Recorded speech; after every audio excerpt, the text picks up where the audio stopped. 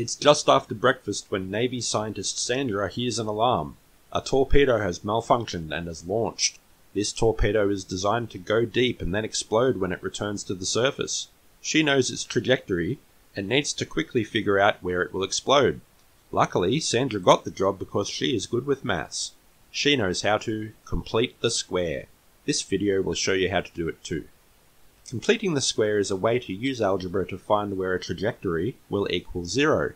Sandra's torpedo has launched from and will return to a flat body of water. More abstractly, completing the square is a method for finding the real roots of quadratic functions. A real root is just where the function crosses the x-axis. Quadratic functions are found pretty much everywhere in maths, so learning how to do this will serve you well. Not all quadratic functions have real roots, but those others aren't covered here. Let's use a simple example first. Here we'll factor a function to find its roots.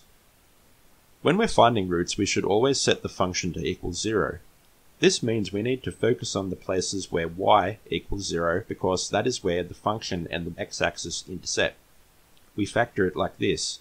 What are two numbers that equal minus 4 when added up, but equal 3 when multiplied? The answer is minus 1 and minus 3. We express this as... To find the roots, notice the equality with 0. So if you solve for x, then the numbers switch sides. But what about Sandra's torpedo? Its start and finish locations are the roots of the trajectory function shown here.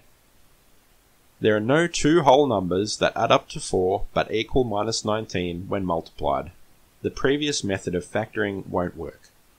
Let's instead complete the square. To start, let's get minus 19 out of the way. What does this statement on the left-hand side mean? What is x squared visually? x squared is the area of a square with sides equal to x. Hence we say something multiplied by itself is a square. What does 4x mean? This is a rectangle with sides 4 and x to make this function look like a square, we can halve 4 and rearrange this new half part.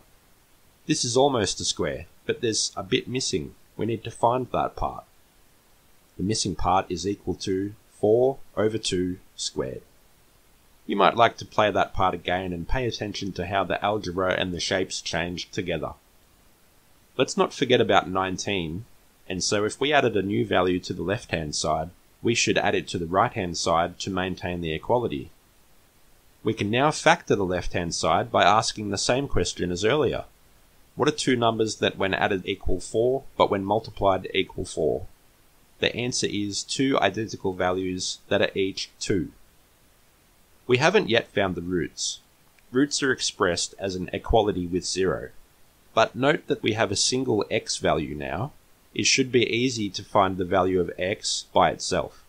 Notice here that undoing the square on the left hand side means the right hand side gains a square root, but it must be plus or minus. That's because we can't know if x was positive or negative before it was squared, so we say it's both. These are the roots, where the function intercepts the x-axis. Sandra now has her answer. She knows the torpedo will explode 6.8 kilometers to the east. There are ships in that area, and Sandra alerts them. Sandra is called a hero by the local media and is invited to more parties.